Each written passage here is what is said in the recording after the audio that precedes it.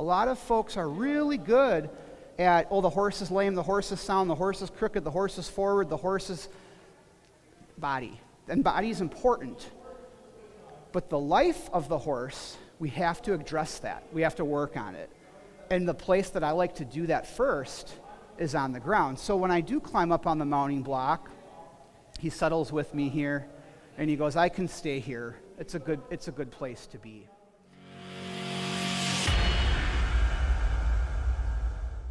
He can practice some things that we need to do riding before I'm on him.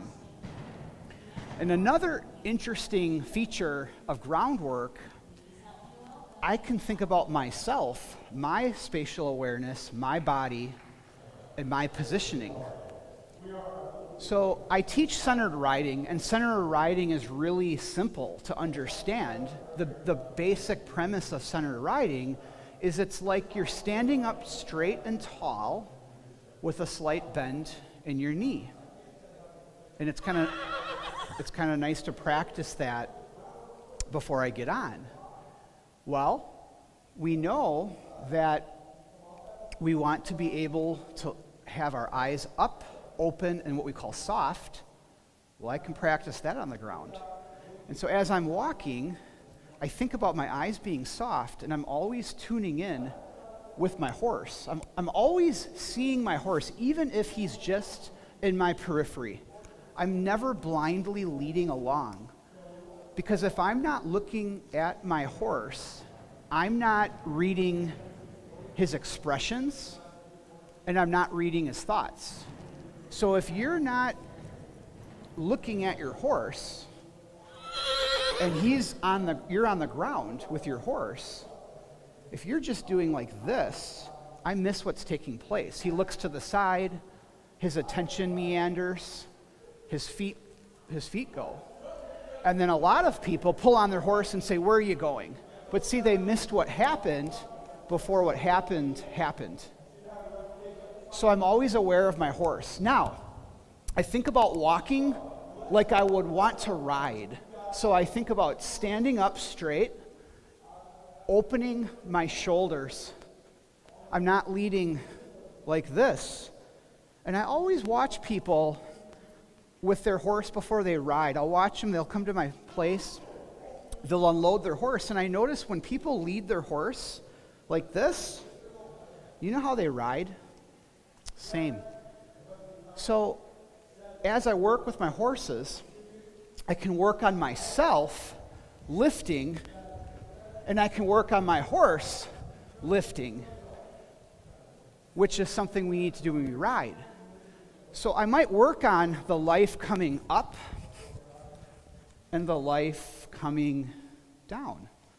And my horse has got a lot of life, which is good. Um, but before I get on him, I can get him keyed in mentally on where to go, where to look. So if I go here, maybe his ears come forward. If I go over here, both sides, maybe his ears come up. We'll see. So I'm kind of looking up here. He's looking up here. And now, if I were to arc around and step to the side, I would draw his attention in and to me, and maybe I'll redirect and send him the other way and use the life that he has and move him a little bit. If I get tall, he gets tall.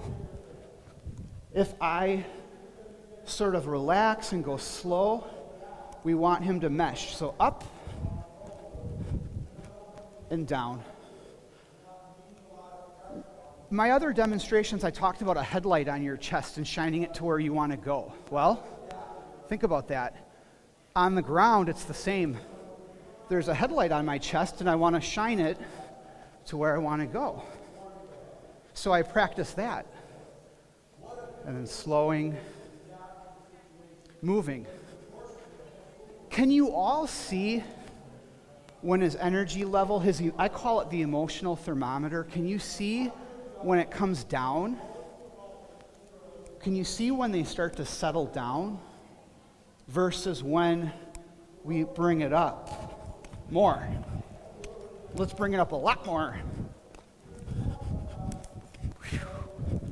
And down. And up. And down. I started with the mind and directing his attention, his eyes, watch his eyes and his ears.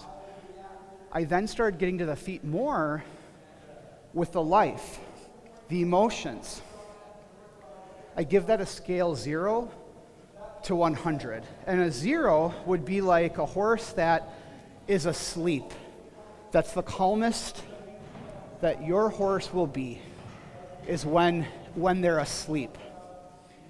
A 100 is what I call a blind panic. It's an adrenaline state, it's awful. You never want a horse at 100. But what this is, is this is the spectrum, the thermometer of their emotions. I want everything to be something that we could read it. We can put a gauge on it. So I could say, is what, what level, what, therm, what temperature is your, are your horse's emotions at? And so pretty soon, people get better at seeing when their horse is lively, when their horse is settling down. We have to work that system of the horse. So if the most excited, the most lively that our horse gets is when we're on their back, that's a problem. So the most excited, the most uh, elevated, that his emotional thermometer should be, I would prefer it to be before I get on. Now, I don't mean to, about scaring a horse. That's different. Like, I wouldn't want to scare a horse. He knows how to bring me his saddle, but I want him to come around this way first. So, what I do is I start to blend with the horse. I start to mesh and I say, if you bring me the saddle, I'll let you cool down. I'll let your temperature come down. And you can watch as you work with your horses. And you can even, like, if you live with your horses, you can watch them and you can see when they're really mellow, when they're really relaxed. But that system, that energy system of the horse, has to be worked with.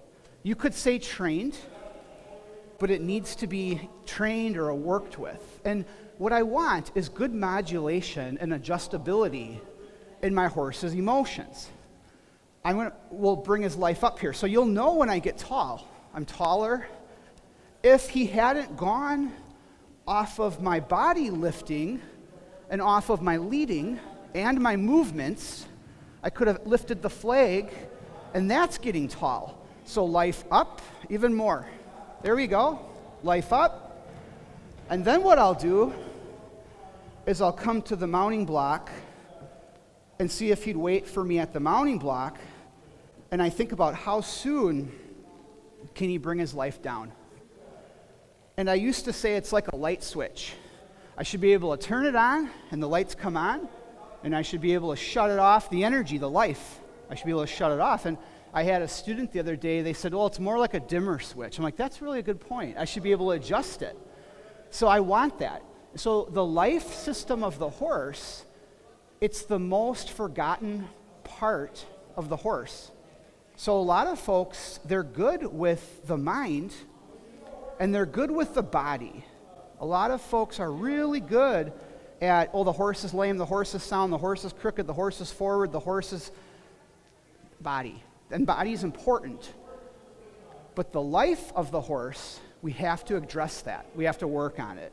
And the place that I like to do that first is on the ground. So when I do climb up on the mounting block, he settles with me here and he goes, I can stay here. It's a good, it's a good place to be. Now,